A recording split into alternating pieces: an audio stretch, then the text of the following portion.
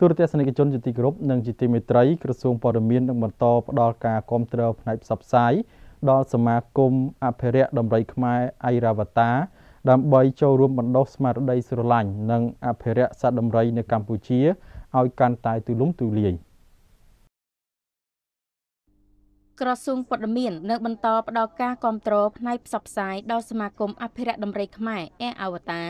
ដើម្បីចូលរួមបណ្ដុះស្មារតីស្រឡាញ់និងអភិរក្សសត្វដំរីនៅកម្ពុជាឲ្យកាន់តែទូលំទូលាយ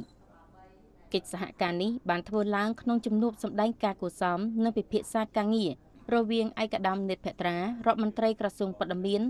និងលោកស្រីខៃចិន្តាប្រធានក្រុមប្រឹក្សាភិបាលសមាគមមូលនិធិអភិរក្សដំរីខ្មែរអែអវតាក្នុងជំរំអភិរក្សដំរីស្ថិតនៅភូមិកាទៀងឃុំលបាំង2ស្រុកលំផាត់ខេត្តរតនគិរី នារសៀលថ្ងៃទី10ខែវិច្ឆិកាឆ្នាំ2023នៅទីស្តីការក្រសួងព័ត៌មានលោកស្រីប្រធានសមាគមមូលនិធិអភិរក្សដំរីខ្មែរអែអវតាបានជម្រាបជូននៅគោលបំណងសំខាន់គឺចូលរួមចំណែកលើកស្ទួយវិស័យទេសចរការពារបរិស្ថាន លើកដំកើងប្រពៃណីវប្បធម៌នៃការបង្កាត់ពូជដំរីស្រុក ដើម្បីឲ្យមានកំណើនកូនដំរី បន្តនិរន្តរភាពនៃដំរីខ្មែរក្នុងឱកាសនេះដែរលោកស្រី ក្លេខៃចិន្តា បានជម្រាបជូនរបាយការណ៍នៅសមិទ្ធផល ដែលសមាគមអែអវតាបានទទួលនាពេលកន្លងមក ហើយនៅតែទទួលបានការគ្រប់គ្រងពីរាជរដ្ឋាភិបាលមានដូចជា ក្រសួងបរិស្ថាន ក្រសួងព័ត៌មាន ក្រសួងទេសចរក្រសួងវប្បធម៌និងវិចិត្រសិល្បៈក្រសួងអប់រំយុវជននិងកីឡា ក្រសួងកសិកម្មរុក្ខាប្រមាញ់និងនេសាទព្រមទាំងស្ថាប័នឯកជនមួយចំនួនផងដែរ តាមរយៈសកម្មភាពការងារអេអវតាបានគៀងគរប្រជាពលរដ្ឋដែលមានចិត្តអាណិតស្រឡាញ់ដំរី មានឱកាសនិងលទ្ធភាពចូលរួមការងារសង្គមដ៏មានសារៈសំខាន់មួយនេះទាំងអស់គ្នានិងដើម្បីទុកជាស្នាដៃដល់កូនចៅចំនួនក្រោយឲ្យបានឃើញ បានប៉ះបានពណ៌ដំរីខ្មែរដោយផ្ទាល់ជាពិសេសបានយល់ដឹងពីប្រវត្តិសាស្ត្រខ្មែរដ៏យូរអង្វែងរវាងដំរី និងជនជាតិកម្ពុជា ក្រៅពីសេវាទេសចរកំសាន្តសមាគមអេអវតាទទួលស្វាគមន៍សិស្សនិស្សិត និងអ្នកសិក្សាស្រាវជ្រាវនៅទីតាំងអភិរក្សផ្ទាល់ផងដែរអេអវតាមានលទ្ធភាពអាចបន្តសកម្មភាពរបស់ខ្លួនទៅបានមកដល់សប្តាហ៍ថ្ងៃនេះក៏ដោយសារទទួលបានការឧបត្ថម្ភពីស្ថាប័នពាក់ព័ន្ធនិងពីសប្បុរសជននានា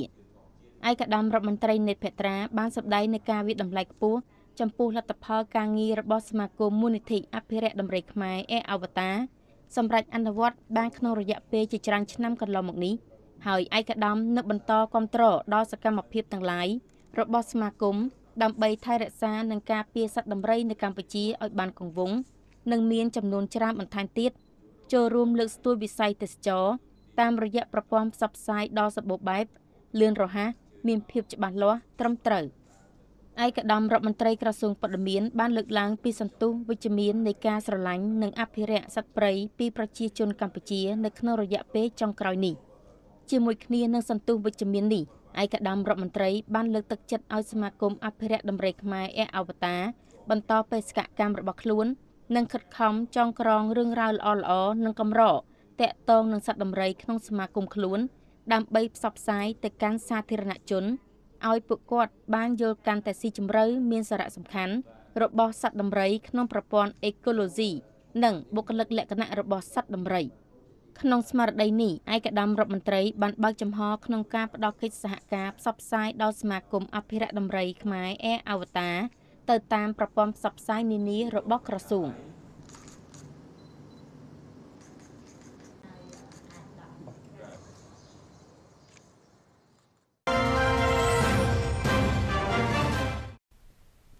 ព័ត៌មានជាបន្តគឺអាយដាមដិតទីណាចូលរួមប្រជុំពីវឌ្ឍនភាពនៃការរៀបចំ user requirement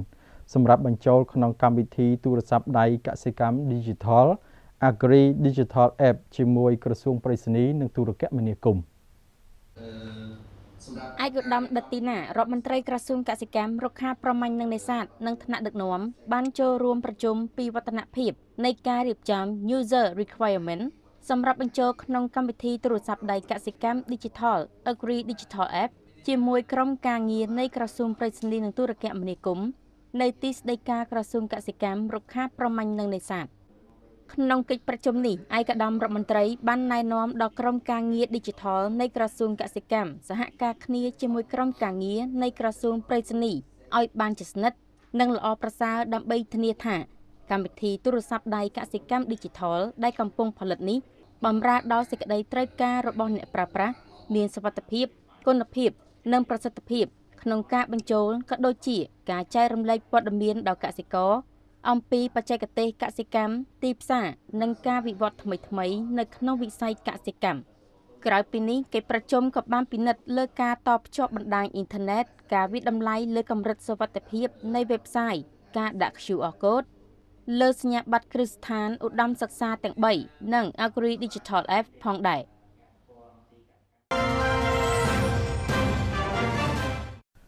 ព័ត៌មានជាបន្តទៅទៀតនេះគឺឯកឧត្តមនប់រតនិមលដង្ហែអង្គធនទានវេប្រគេនព្រះភិក្ខុសង្ឃគង់ចាំព្រះវសា ក្នុងពតសីមាវត្តសីហរតនារាម ស្ថិតក្នុងសង្កាត់រកាក្រៅក្រុងដូនកែវ ឯកឧត្តមនប់រតនិមលបានថ្លែងថាសម្ដេចតេជោហ៊ុនសែនជាអ្នកស្វែងរកនៅសុខសន្តិភាពជូនជាតិនិងប្រជាជនសម្ដេចមហាបវរធិបតីហ៊ុនម៉ាណែតជាអ្នកបន្តការពារនិងថែរក្សាសន្តិភាពជូនជាតិនិងប្រជាជនឯកឧត្តមនប់រតនិមលជំនួយការសម្ដេចមហាបវរធិបតីហ៊ុនម៉ាណែតនាយករដ្ឋមន្ត្រីនៃព្រះរាជាណាចក្រកម្ពុជាតំណាងឯកឧត្តមគតិបណ្ឌិតហ៊ីងប៊ុនហៀងនិងលោកជំទាវប៉ែនចាន់នីបានថ្លែងដូចនេះក្នុងឱកាស ដង្ហែអង្គធនទានវេប្រគេនព្រះភិក្ខុសង្ឃគង់ចាំព្រះវសាឱកាសត្រីមាសក្នុងពុទ្ធសីមាវត្តសេហរតនារាមស្ថិតនៅសង្កាត់រកាក្រៅក្រុងដូនកែវខេត្តតាកែវកាលពីព្រឹកថ្ងៃទី11ខែវិច្ឆិកាឆ្នាំ2023ឯកឧត្តមបានបន្តថាក្រោមការដឹកនាំប្រកបដោយគតិបណ្ឌិតរបស់សម្ដេចតេជោអតីតប្រមុខរាជរដ្ឋាភិបាលកម្ពុជា និងក្រោមការដឹកនាំដោយសម្ដេចធិបតីហ៊ុនម៉ាណែត នាយករដ្ឋមន្ត្រីនៃព្រះរាជាណាចក្រកម្ពុជា បានខិតខំប្រឹងប្រែងកសាងស្ដារប្រទេសជាតិពីគំនរផេះផង់ពីបាត់ដៃទទេ ចេញពីរបបប្រល័យពូជសាសន៍ប៉ុលពត ហើយបានធ្វើឲ្យប្រទេសជាតិមានសុខសន្តិភាព និងការអភិវឌ្ឍសេដ្ឋកិច្ចជាតិមានការរីកចម្រើនលូតលាស់លើគ្រប់វិស័យទាំងវិស័យពុទ្ធចក្រនិងអនាចក្រក្នុងនោះវិស័យព្រះពុទ្ធសាសនាបានខិតខំកសាងនៅព្រះវិហាររាប់រយពាន់ខ្នងនៅទូទាំងប្រទេសផងដែរ ឯកឧត្តមបានថ្លែងនៅអំណរគុណយ៉ាងជ្រាលជ្រៅចំពោះព្រះសង្ឃលោកតាលោកយាយបងប្អូនប្រជាពលរដ្ឋនិងអាជ្ញាធរដែនដីគ្រប់លំដាប់ថ្នាក់នៅក្នុងសង្កាត់រកាក្រៅក្រុងដូនកែវខេត្តតាកែវដែលខិតខំខ្នះខ្នែងចូលរួមសហការទាំងនៅក្នុងដំណើរការនៃការកសាងអភិវឌ្ឍគ្រួសារសង្គមជាតិក៏ដូចជាការចូលរួមថែរក្សាសុខសន្តិភាពជាតិនាពេលកន្លងមកនេះជាមួយគ្នានេះឯកឧត្តមនប់រតនិមលបានលើកឡើងថា វត្តអារាមមិនត្រឹមជាកន្លែងប្រតិបត្តិធម៌នោះទេប៉ុន្តែជាកន្លែងផ្ដើមនៃការចូលរួមចំណែកក្នុងការគ្រប់គ្រងប្រទេសគ្រប់គ្រងគ្រួសារព្រោះព្រះធម៌ក្នុងព្រះពុទ្ធសាសនាគឺជាការអប់រំព្រៀនប្រដៅឲ្យមានគុណធម៌សិលធម៌ចេះរស់នៅដោយការគោរពគ្នា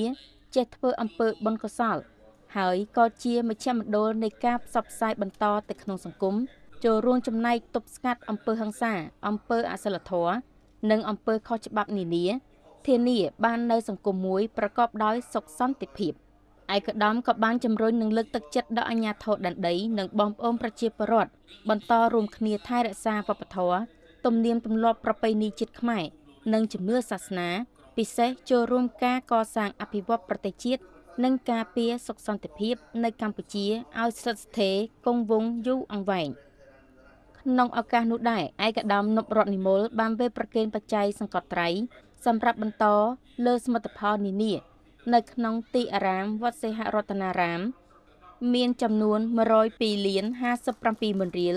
ក្នុងនោះបច្ច័យរបស់ឯកឧត្តមកតិបណ្ឌិតហ៊ីប៊ុនហៀងនិងលោកជំទាវប៉ែនចានីមានចំនួន30លានរៀល ជាមួយគ្នានេះដែរឯកឧត្តមនិងលោកជំទាវបាននាំយកអំណោយដ៏ថ្លៃថ្លារបស់សម្ដេចតេជោសម្ដេចគតិប្របណ្ឌិតនិងសម្ដេចធិបតីហ៊ុនម៉ាណែតនិងលោកជំទាវបណ្ឌិតចែកជូនឧបត្ថម្ភដល់សិលវ័នសិលវតីមន្ត្រីក្រមប្រឹក្សាស្រុកឃុំលោកគ្រូអ្នកគ្រូយុវជន ប្រជាពលរដ្ឋនិងកងកម្លាំងមានសមត្ថកិច្ចផងដែរ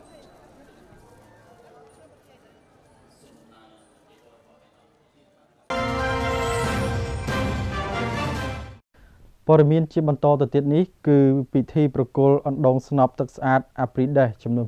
6ចែកអំណោយដល់ប្រជាពលរដ្ឋនិងពិសាអាហារសាមគ្គី ជាមួយបងប្អូនជនជាតិដើមភាគតិច នៅខេត្តចំនួន3ឯកឧត្តមខាន់ខុនអនុរដ្ឋលេខាធិការក្រសួងធម្មការនិងសាសនាតំណាងឯកឧត្តមបណ្ឌិតចៃបរិនរដ្ឋមន្ត្រីក្រសួងធម្មការនិងសាសនា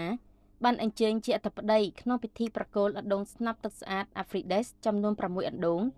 ចែកអំណោយដល់ជនចាស់ជរាស្ត្រីមេម៉ាយចំនួន7នាក់និងចែកសម្លៀកបំពាក់រួមនឹងសម្ភារៈសិក្សាដល់កុមារចំនួន58នាក់កង់ចំនួន3ថែប្លេតចំនួន8គ្រឿងនិងការបរិភោគអាហារសាមគ្គីជាមួយបងប្អូនជនជាតិខោនភ្នង ឯកឧត្តមបានលើកឡើងពីការដឹកនាំការលើកស្ទួយទៅវិញទៅមកនៅទង្វើល្អរបស់គ្រឹះសាសនាក្នុងការចូលរួមជួយដល់រាជរដ្ឋាភិបាលក្រោមការដឹកនាំរបស់សម្ដេចមហាបវរធិបតីហ៊ុនម៉ាណែតនាយករដ្ឋមន្ត្រីនៃព្រះរាជាណាចក្រកម្ពុជា តែងតែយកចិត្តទុកដាក់ពីសុខទុក្ខប្រជាពលរដ្ឋគ្រប់ទីកន្លែងដើម្បីជំរុញដល់ការអភិវឌ្ឍប្រទេសជាតិរួមចំណែកទៅតាមលទ្ធភាពដែលមានជាក់ស្ដែងដូចជា1ការផ្ដល់ជូននៅអណ្ដូងស្នប់ទឹកស្អាត ទៅតាមទីកន្លែងដែលខ្វះខាតទឹកប្រើប្រាស់គ្រប់គ្រាន់នៅរដូវប្រាំងឬមិនទាន់មានប្រភពទឹកស្អាតទៅដល់2ការរួមចំណែកចែកអំណោយជួយជាគ្រឿងឧបភោគបរិភោគដល់ជនចាស់ជរាស្ត្រីមេម៉ាយឬអ្នកងាយរងគ្រោះផ្សេងៗ3ការចែកសម្លៀកបំពាក់និងសម្ភារៈសិក្សា សម្រាប់កុមាររស់នៅក្នុងផ្ទះកុមារនៃក្តីសង្ឃឹម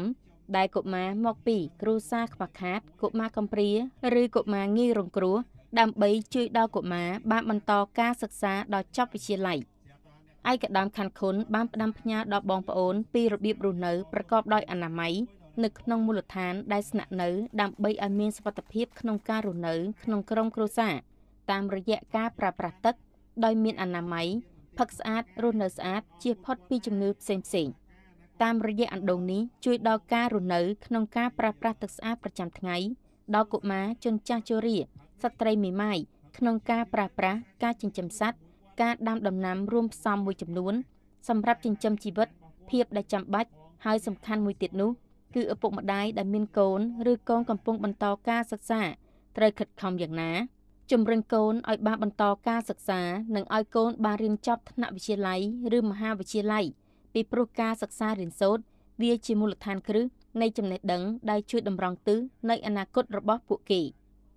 ការសិក្សារៀនសូត្ររបស់យុវជននិងកុមារវាមានឥទ្ធិពលសំខាន់ក្នុងការជួយខ្លួនឯងគ្រួសារនិងសង្គមជាតិពិសេសនោះគឺការយកទៅប្រកបដោយក្រមសីលធម៌ក្នុងសង្គមជាតិអ្វីទាំងនេះវាកើតឡើងបានដោយយើងមានការចូលរួមគ្នារក្សាសុខសន្តិភាព ហើយសន្តិភាពមានតម្លៃជាសកលមិនអាចកាត់ថ្លៃបាន ដើម្បីភាពរីកចម្រើនជឿនលឿនលើគ្រប់វិស័យចាំបាច់ណាស់គឺប្រទេសមានសុខសន្តិភាព ឯកឧត្តមបានមានប្រសាសន៍បញ្ជាក់ថាក្រមលុបសន្តិភាព យើងក៏បីរួមគ្នាជួយចែករំលែកនៅអ្វីដែលយើងមាន ហើយអាចធ្វើបានជួយដល់ប្រជាជន ដែលពុំទាន់មានលទ្ធភាពនិងតបតាមតម្រូវការជាក់ស្ដែងបម្រើជាប្រយោជន៍ដល់ប្រជាជនក្នុងសហគមន៍ដោយមិនប្រកាន់ពូជសាសន៍សាសនាឬនិន្នាការនយោបាយអ្វីឡើយពីព្រោះយើងគឺជាខ្មែរយើងគឺតែមួយ ហើយអ្វីដែលយើងធ្វើសុទ្ធតែដើម្បីប្រទេសជាតិ ការអភិវឌ្ឍដោយរក្សានៅការរួមសាមគ្គីភាពខេត្តចំនួន3ដែលទទួលបានអណ្ដូងស្នប់និងអំណោយនានារួមមាន1ខេត្តក្រចេះការបរិភោគអាហារសាមគ្គីជាមួយបងប្អូនជនជាតិខោនភ្នងអណ្ដូងទឹកស្អាតចំនួន3ភូមិស្រែម៉ាអញ្ជីងឃុំថ្មី ស្រុកចិត្តបុរីភូមិដូនមាស3ឃុំស្រែចាស្រុកស្នួលភូមិថ្មហាលវាលឃុំពីធ្នូស្រុកស្នួល2 ខេត្តត្បូងឃ្មុំអណ្ដូងទឹកស្អាតចំនួន3ភូមិផ្អៅឃុំទឹកជ្រៅស្រុកដំបែភូមិជីកជើងឃុំចុងជីកស្រុកដំបែភូមិថ្នល់ឃុំដំបែស្រុកដំបែអំណោយជនចាស់ជរាចំនួន3នាក់មានអង្ករចំនួន10គីឡូក្រាមមី1កេសត្រីខ1យួរទឹកត្រី1យួរអង្ករឧបត្ថម្ភ1កេសសម្លៀកបំពាក់ក្នុងការប្រើប្រាស់ប្រចាំថ្ងៃសម្ភារៈសិក្សាដល់កុមារចំនួន16នាក់កង់ចំនួន3 3ខេត្តកំពង់ធំ អំណោយជនចាស់ជរាចំនួន4នាក់មានអង្ករចំនួន10គីឡូក្រាមមី1កេសត្រីខ1យួរទឹកត្រី1យួរអង្ករឧបត្ថម្ភ1កេសសម្លៀកបំពាក់ក្នុងការប្រើប្រាស់ប្រចាំថ្ងៃសម្ភារៈសិក្សាដល់កុមារចំនួន42នាក់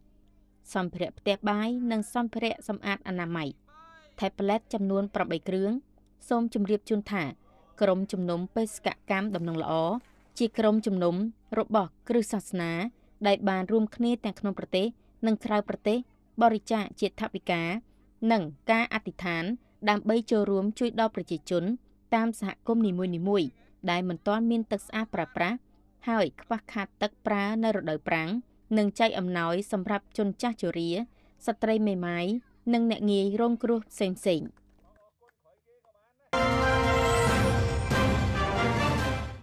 ទូរទស្សនិកជនជាទីគោរពនិងជាទីមេត្រីរដ្ឋបាលខេត្តបន្ទាយមានជ័យប្រារព្ធពិធីរំលឹកខួបលើកទី70ទិវាបនឯករាជ្យជាតិ9វិច្ឆិកាឯកឧត្តមអ៊ុំរាត្រីអភិបាលនៃគណៈអភិបាលខេត្តបន្ទាយមានជ័យបានមានប្រសាសន៍ថាមាតុភូមិដ៏អភ័ព្វនៃយើងបានឆ្លងកាត់ជាច្រើនដំណាក់កាលហើយបានស្ថិតនៅក្រោមនឹមអាណានិគម ជិតមួយសតវត្សប្រជាជាតិនិងប្រជាពលរដ្ឋកម្ពុជា បានស្គាល់នៅភាពល្វីងជូរចត់ការលំបាកវេទនាគ្រប់បែបយ៉ាងយើងបានកំណត់ថាសេរីភាពនិងឯករាជ្យសម្រាប់ជាតិគឺមានតម្លៃពុំអាចកាត់ថ្លៃបានឡើយចលនាតស៊ូរំដោះជាតិពីនឹមអាណានិគមបានកើតឡើងជាបន្តបន្ទាប់ស្ទើរគ្រប់ទីកន្លែងនៅទូទាំងប្រទេស តែត្រូវបានបង្ក្រាបឲ្យបរាជ័យរលាយសូន្យទៅវិញ ប្រវត្តិសាស្ត្របានកត់ត្រាទុកនៅបពបុរសនិងវីរៈជនស្នេហាជាតិទាំងឡាយនោះ ជារៀងរហូតមកដូចជាអុកញ៉ាក្រលហោមគង់អាចារ្យស្វាពូកំបោលោកអុកញ៉ាហែមជាវនិងប្រជាពលរដ្ឋភូមិក្រាំងលាវឯកឧត្តមបន្តថាផ្ដើមចេញពីពិធីរំលឹកខួបលើកទី70ទិវាបនឯករាជ្យជាតិដ៏រុងរឿងនាពេលនេះ យើងខ្ញុំទាំងអស់គ្នាជាក្រុមប្រឹក្សាខេត្តគណៈអភិបាលខេត្តមន្ត្រីរាជការកងកម្លាំងប្រដាប់អាវុធលោកគ្រូអ្នកគ្រូសិស្សនិស្សិតព្រះសង្ឃសិលវ័នសិលវតីនិងប្រជាពលរដ្ឋក្នុងខេត្តបន្ទាយមានជ័យសូមគាំទ្រយ៉ាងមោះមុតចំពោះការបដិញ្ញាចិត្តរបស់រាជរដ្ឋាភិបាលនៃព្រះរាជាណាចក្រកម្ពុជា ក្រោមការដឹកនាំដ៏ឆ្លៀសវៃប្រកបដោយកតេបណ្ឌិតរបស់សម្ដេចមហាបវរធិបតីហ៊ុនម៉ាណែត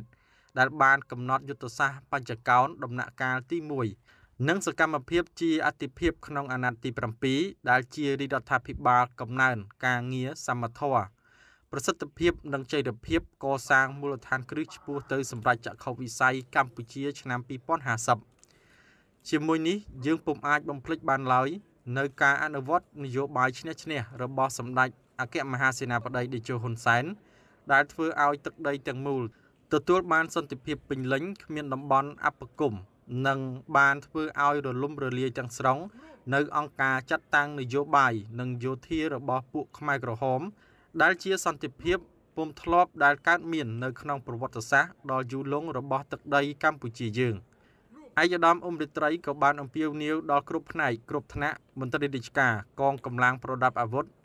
សូមខិតខំបំពេញភារកិច្ចតាមមុខនីតិរបស់ខ្លួនដើម្បីសន្តិភាពសวัสดิភាពការរស់នៅប្រកបដោយភាពសុខដុមរមនា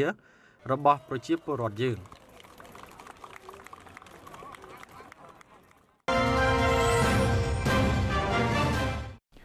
ព័ត៌មានជាបន្តទៅទៀតនេះគឺកងទ័ពកម្ពុជាចំនួន92រូបបានអញ្ជើញទៅកាន់សាធារណរដ្ឋប្រជាមានិតចិន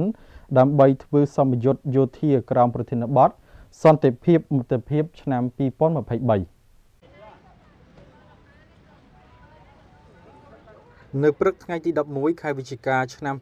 2023ព្រះរាជាណាចក្រកម្ពុជា បានបញ្ជូនកងទ័ពកម្ពុជាចំនួន92រូបដើម្បីចូលរួមសម្ពយុទ្ធសន្តិភាពមិត្តភាពឆ្នាំ2023នៅសាធារណរដ្ឋប្រជាមានិតចិនក្នុងគោលបំណងពង្រឹងទំនាក់ទំនងមិត្តភាព និងកិច្ចសហប្រតិបត្តិការទ្វេភាគី និងពហុភាគីរវាងបណ្ដាប្រទេសនានាក្នុងតំបន់ជាមោទនភាពរបស់កម្ពុជាដែលបានបញ្ជូនកងទ័ពក្នុងការចូលរួមសមយុទ្ធយោធាសន្តិភាពមិត្តភាពឆ្នាំ2023នៅសាធារណរដ្ឋប្រជាមានិតចិនដែលមានបណ្ដាប្រទេសនានាក្នុងតំបន់ចំនួន6ចូលរួម ដែលមានដូចជាប្រទេសជាណាចក្រកម្ពុជា សាធារណរដ្ឋប្រជាមានិតចិន សាធារណរដ្ឋសង្គមនិយមវៀតណាម សាធារណរដ្ឋប្រជាធិបតេយ្យប្រជាមានិតឡាវព្រះរាជាណាចក្រថៃ និងប្រទេសម៉ាឡេស៊ី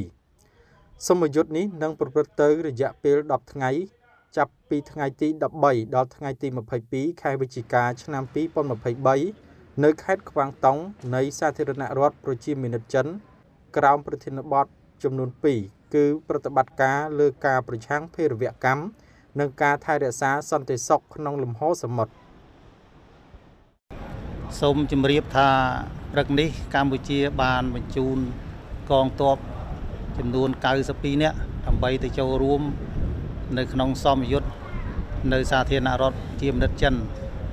ហើយនេះគឺជាមោទនភាពសម្រាប់រាជាណាចក្រកម្ពុជាហើយក៏មិនមែនជាលើកដំបូងទេ សម្រាប់កងទ័ពកម្ពុជាដែលបានទៅចូលរួមនៅក្នុងសមយុទ្ធពហុសាសជាមួយបណ្ដាប្រទេសនានាក្នុងតំបន់ក្នុងគោលបំណងដើម្បីពង្រឹងទំនាក់ទំនងកិច្ចសហប្រតិបត្តិការជាមួយបណ្ដាប្រទេសនៅក្នុងតំបន់ក៏ដូចជាការបង្កើនជំនឿទុកចិត្តដើម្បីកសាងសហគមន៍មួយ ដែលមានអនាគតល្អជាមួយគ្នារួមគ្នាហើយសូមបញ្ជាក់ថាការធ្វើសមយុទ្ធនេះគឺអឺ មានឈ្មោះថាសន្តិភាពមិត្តភាព ឆ្នាំ2023ហើយដែលមានប្រទេសចំនួន6ចូលរួម ក្នុងនោះមានប្រជាណាចក្រកម្ពុជា សាធារណរដ្ឋប្រជាមានិតចិន សាធារណរដ្ឋប្រជាធិបតេយ្យប្រជាមានិតឡាវសាធារណរដ្ឋសង្គមនិយមវៀតណាម ប្រទេសម៉ាឡេស៊ីនិងប្រជាណាចក្រថៃឡង់ហើយការធ្វើសមយុទ្ធនេះគឺស្ថិតក្រោមប្រធានបទ ប្រតិបត្តិការលើការប្រឆាំងភេរវកម្មនិងការថែរក្សាសន្តិសុខក្នុងលំហសមុទ្រដែលបានប្រព្រឹត្តទៅរយៈពេល10ថ្ងៃបាទសំទោសដែលនឹងប្រព្រឹត្តទៅក្នុងរយៈពេល10ថ្ងៃគឺចាប់ពីថ្ងៃទី13រហូតដល់ថ្ងៃទី22ខែវិច្ឆិកាឆ្នាំ2023ហើយការធ្វើនេះគឺស្ថិតនៅទីក្រុងសុនជាងខេត្តខ្វាងតុងភាគខាងត្បូងនៃប្រទេសចិន ខ្ញុំមើលឃើញថាអ្វីដែលកម្ពុជាទទួលបាន ទី1គឺការពង្រឹងនៅចំណេះដឹង ការបង្កើននៅសមត្ថភាពក៏ដូចជាការផ្លាស់ប្ដូរបទពិសោធន៍ជាមួយបណ្ដាប្រទេសនៅក្នុងតំបន់នៅក្នុងការថែរក្សាសន្តិភាពសន្តិសុខនៅក្នុងតំបន់រួមគ្នាហើយសូមបញ្ជាក់ផងដែរថានៅក្នុងថ្ងៃបិទនៃសមយុទ្ធគឺគណៈប្រតិភូ អគ្គបញ្ជាការដឹកនាំដោយអាយដាមនេដាមសនីវងពិសេនអឺលោកនឹងអញ្ជើញចូលរួមនៅក្នុងកម្មវិធីបិទសមយុទ្ធនេះផងដែរបាទជាបឋមមុននឹងឆ្លើយសំណួរអឺបោះបងអឺតំណាងឲ្យបងប្អូនទាំងអស់ជាសខាកាមដែលត្រូវទៅចូលរួមសមយុទ្ធអាម៉ាន់យូជីឆ្នាំ2023នៅប្រទេសចិននេះខ្ញុំបាទសូមគោរពអរគុណដល់សម្ដេចបវរអឺ មហាមហាបវរធិបតីហ៊ុនម៉ាណែតនាយករដ្ឋមន្ត្រីនៃប្រជាណាចក្រកម្ពុជាសូមគោរពអរគុណឯកឧត្តមនាយឧត្តមសេនីយ៍បញ្ញារដ្ឋមន្ត្រីរដ្ឋមន្ត្រីក្រសួងការពារជាតិឯកឧត្តមនាយឧត្តមសេនីយ៍អគ្គលេខអឺអគ្គមេមជើការនៃកងយុទ្ធពលខេមរភូមិន្ទឯកឧត្តមនាយឧត្តមសេនីយ៍មេមជើការកងទ័ពជើងគោកហើយនឹងឯកឧត្តមឧត្តមសេនីយ៍តូសុំសំណាងដែលជាមេមជើការជើការឋានទ័ពពិសេសដែលបានអនុញ្ញាតឲ្យយើងខ្ញុំ មានឱកាសបានទៅចូលរួមសមយុទ្ធអមែនយូយីនៅប្រទេសចិននាឱកាសនេះឆ្លើយទៅនឹងសំណួររបស់បងគឺតាំងនាមខ្ញុំជាសិក្ខាកាមគឺក៏ដូចជាបងប្អូនដែលបានទៅចូលរួមនឹងដែរការបដិញ្ញាចិត្តគឺមានខ្ពស់សម្រាប់ពួកយើង គឺយើងនឹងខិតខំវឹកហាត់ដកស្រង់បទពិសោធន៍ផ្លាស់ប្ដូរបទពិសោធន៍ទៅវិញទៅមកជាមួយប្រទេសជាមិត្តដែលទៅចូលរួមជាមួយគ្នាហើយនឹងយកនៅចំណេះដឹងទាំងអស់នោះ មកអភិវឌ្ឍខ្លួនឯងក៏ដូចជាមកអភិវឌ្ឍដល់អង្គភាពនិងរួមចំណែកអភិវឌ្ឍទៅលើវិស័យកងទ័ពបាទសូមអរគុណបាទអឺមុននឹងឆ្លើយសំណួរគឺខ្ញុំសូមគោរពថ្នាក់ដឹកនាំនៅក្នុងប្រជាណាចក្រកម្ពុជាទាំងមូលដែលបានរៀបចំការអឺរៀបចំអឺពួកខ្ញុំដើម្បីទៅសមយុទ្ធនៅប្រទេសចិនហើយពួកខ្ញុំពិតជាសប្បាយរីករាយមែនទែនហើយទី1ទី2ពាក់ព័ន្ធជាមួយនឹង លើជំនាញនៅខាងនោះគឺពួកខ្ញុំនឹងខិតខំប្រឹងប្រែងយកចិត្តទុកដាក់ហើយនឹងប្រមូលផ្ដុំនៅរាល់ឯកសារដែលពាក់ព័ន្ធនឹងដើម្បីយកមកបំពេញនិងរៀបចំដើម្បីបាទដកស្រង់បទពិសោធន៍ពាក់ព័ន្ធជាមួយនឹងការសោបយុទ្ធហ្នឹងឲ្យវាល្អប្រសើរហើយនឹងអភិវឌ្ឍប្រទេសរបស់យើងឲ្យរីកចម្រើនជាង បាទអឺពាក់ព័ន្ធនឹងការសម្ពយុទ្ធហ្នឹងគឺសម្ពយុទ្ធឲ្យមិត្តភាពនិងសន្តិភាពឆ្នាំ2023បាទបងបងបងហ៊ានលើកដែរពីចេញពីខ្មែរអឺការហ៊ានលើកដែរសម្ភារៈនេះពាក់ព័ន្ធសម្ភារៈអីសម្រាប់ជំនាញរបស់ពួកខ្ញុំគឺដូចជាសម្ភារៈជំនាញអឺតបពិសេសបាទក្នុងនោះគឺមានសម្ភារៈច្រើនជាងនេះទៀត ចំពោះការប្រុងប្រៀបរបស់កងកម្លាំងយើងដែលចូលរួមនៅក្នុងសមយុទ្ធសន្តិភាពមិត្តភាព2023នៅឯសាធារណរដ្ឋប្រជាមានិតចិនអឺបច្ចុប្បន្ននេះគឺយើងបានប្រុងប្រៀបកម្លាំងចូលរួមគឺចំនួន92នាក់ហើយនៅក្នុងនោះយើងបានបែងចែកជា2ប្រធានបទដែលចូលរួមជាមួយនោះគឺទី1នោះគឺការរំដោះចោលខ្មាំងទី2គឺការរុករកនិងកំទេចខ្មាំងបាទហើយ អឺដល់បច្ចុប្បន្ននេះយើងបានប្រឹងប្រៀបកម្លាំងរួចរាល់ហើយក៏យើងបានបែងចែកជាក្រុមការងារនៅក្នុងនោះទី1គឺយើងបានបែងចែកជាក្រុមការងារទីមជាការក្រុមការងារលិខាការឋាន ក្រុមបកប្រែក្រុមថតរូបហើយនិងក្រុមការងារធានាដើម្បីយើងប្រស័យតាក់ទងជាមួយពីគិមិត្តនៅនៅពេលដែលយើងទៅដល់នៅសាធារណរដ្ឋជាចិន អាដាមតាមរយៈការចូលរួមហាត់គ្រប់គ្រងនៅពេលនេះតើអាដាមអាចវិតម្លៃបានទេហើយអាចនឹងធ្វើឲ្យក្នុងកម្ពុជាយើងមានលទ្ធភាពបន្ថែមទៀតក្រមការដឹកនាំដ៏ថ្លៃថ្លារបស់សម្ដេចតបដីហ៊ុនម៉ាណែតដែលសម្ដេចដែលតែងតែយកចិត្តទុកដាក់នៅលើកងយោពលខេមរៈភូមិន្ទដូច្នេះកងទ័ពរបស់យើងដែលទៅត្រៀមនឹងចូលរួមសំយុទ្ធនេះគឺមានជំនឿយ៉ាងមុតម ថាយើងនឹងប្រឹងប្រែងអស់ពីកាយចិត្តដើម្បីសម្រេចឲ្យបាននៃ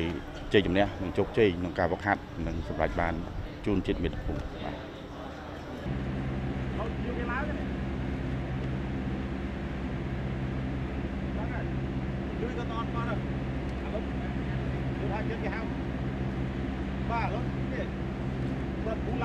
ព្រះរាជាណាចក្រកម្ពុជាបានបញ្ជាក់ឲ្យឃើញថាកម្ពុជាចិន គឺនៅគ្រប់គ្រងទិសដៅនៃការបន្តពង្រឹងនិងពង្រីកកិច្ចសហប្រតិបត្តិការរវាងកងទ័ពជើងគោកកម្ពុជាចិន ក្នុងផ្នែកវឹកវើបណ្ដុះបណ្ដាលធនធានមនុស្សការរៀបចំសមយុទ្ធរួមគ្នា ការភ្ជាប់ទំនាក់ទំនងរវាងអង្គភាពនិងអង្គភាពក៏ដូចជាការបោសសម្អាតមីននៅកម្ពុជា លើពីនេះបានបង្ហាញឲ្យដឹងថាចំណងមិត្តភាពដៃថែបកម្ពុជាចិនដែលជាទំនាក់ទំនងបែបប្រវត្តិសាស្ត្រហើយថ្នាក់ដឹកនាំនៃប្រទេសទាំងពីរតែងបានខិតខំពូនជ្រុំជាប់ជាប្រចាំរហូតមានការអភិវឌ្ឍរីកចម្រើនគួរជាទីមោទនៈដោយដែលឆ្លុះបញ្ចាំងតាមរយៈសមិទ្ធផលជាច្រើនដូចជាកិច្ចសហប្រតិបត្តិការជិតស្និទ្ធក្នុងវិស័យការពារជាតិគំនិតព្រួយផ្ដើមខ្សែក្រវ៉ាត់និងផ្លូវច្រករបៀងមច្ឆានិងអង្គរ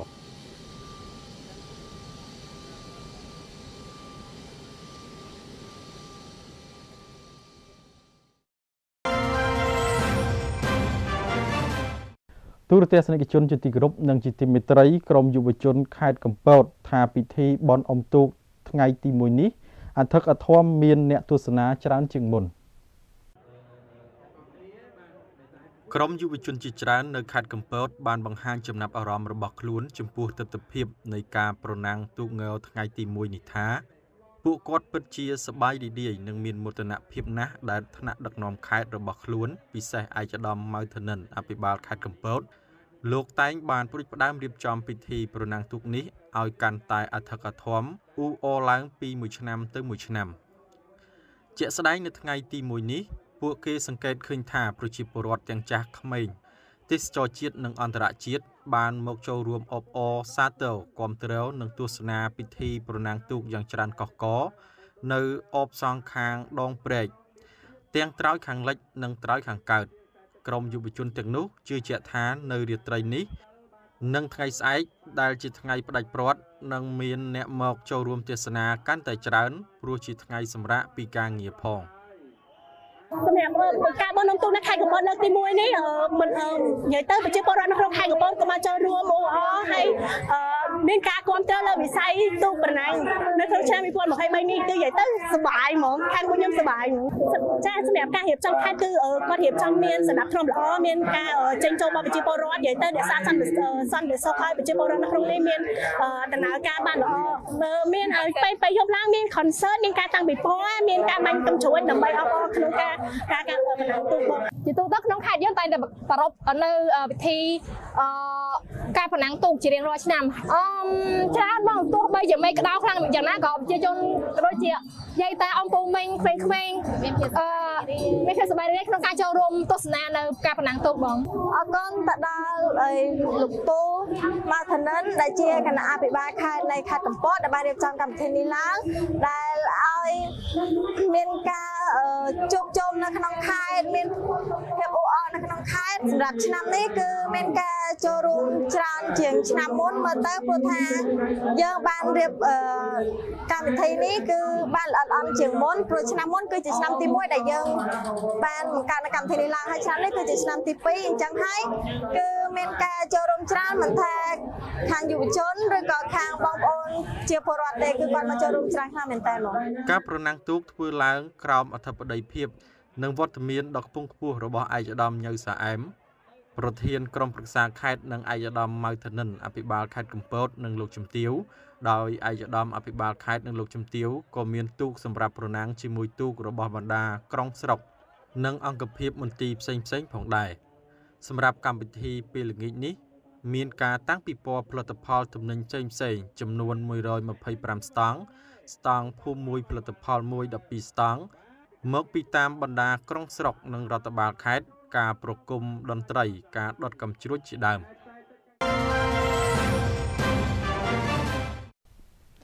ទូរទស្សនិកជនជាទីគោរពនិងជាទីមេត្រីព័ត៌មានជាតិដែលលោកអ្នកទៅបានទស្សនាមុននេះបានដល់ទីបញ្ចប់នៅវគ្គបន្តលោកអ្នកនឹងបានទស្សនាព័ត៌មានអន្តរជាតិសំខាន់ៗវិញម្ដងខណៈនេះខ្ញុំបាទរួមជាមួយនឹងក្រុមការងារសូមអរគុណសូមជម្រាបលា